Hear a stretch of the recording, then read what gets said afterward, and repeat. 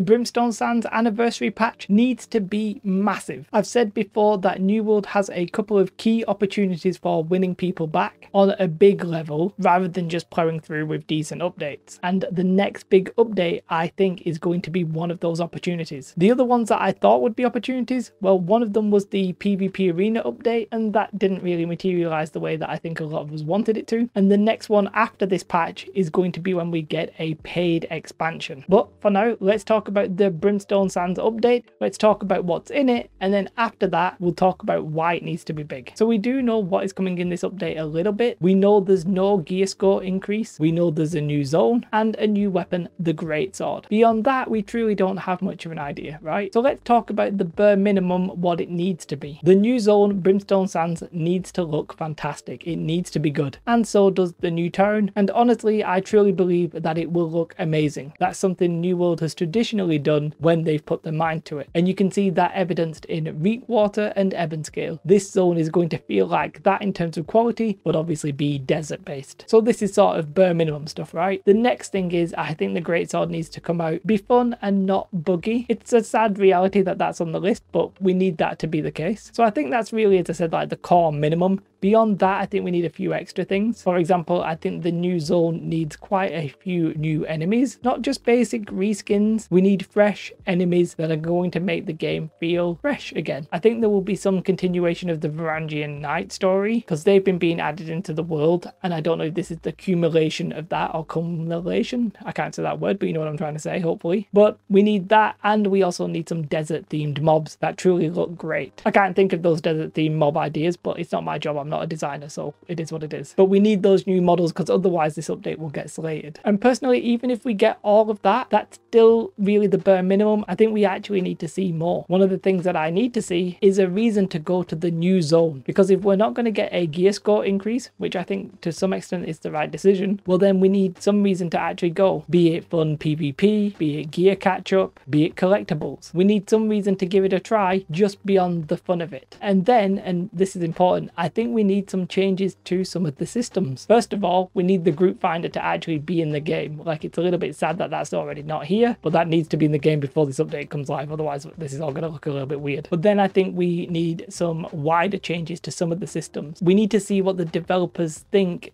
the biggest issues are and the direction that the game is heading in. For example, do they think it's gamble crafting that is the biggest problem? Maybe they think it's the turns being too rewarded. Maybe they think it's the lack of open world PvP. Maybe it's expertise. We just need to see some sort of direction and admission that some of the things that they did was wrong and that they're desperately going to fix them, even if they can't fix all of them now. Because I do truly believe that some of the things I just listed are some of the reasons that this game is not actually more popular. Now, you can disagree with me, that's fine. And as I said, we're not going to get all of those all at once. We'll get more system updates when we get an actual paid expansion in probably like a year and a bit's time, right? But I think we need to get some. And there's some sort of key features slash systems that I would like to see, if not in this update, at least very soon. I want to see cross realm as soon as possible, and that is starting to seem a little bit unlikely. If the group finder's not working, it sort of feels cross realm won't work, at least for expeditions. Maybe they'll do it for Outpost Rush, who knows. Another key thing that is now sort of bordering the ridiculous is a way to manage gear. Just something basic we'll do right now. Being able to save like a loadout and have it be automatically swapped when you swap loadouts would be life changing in terms of New World. We need something there because it's getting a bit insane. I'm not necessarily expecting all of these in one patch, as I said, but we do need to see signs of movement on these issues. I do truly believe that. And I think this update is going to be important for one major reason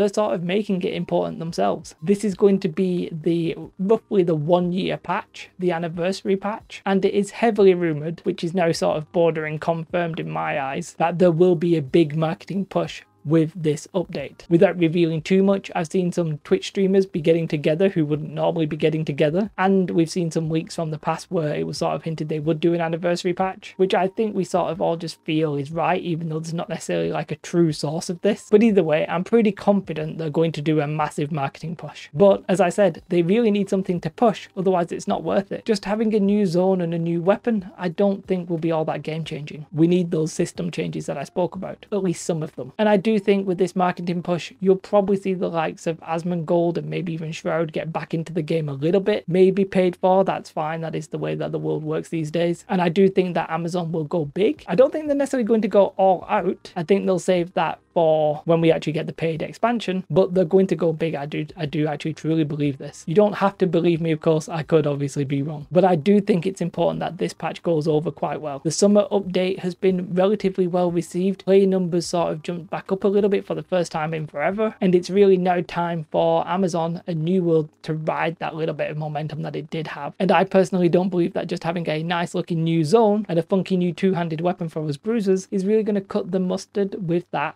Has to be a little bit more. As I said before, like we're one year into this game and not having some sort of gear management, if I'm honest, is quite frankly a little bit embarrassing at this point. We need some basic stuff and we need to see the direction that the game is going to go in. I'm personally optimistic and I hope they do not let us down. Apart from the new zone and the great greatsword, what do you want to see in this update? And if you want to support the channel, do consider becoming a YouTube member. It really would help. Don't forget to like and subscribe and then consider this video on the screen now where I talk about the impact that Amazon Game Studios publishing Throne of Liberty might have on New World. Otto, it's your life. Have a beautiful day. Goodbye.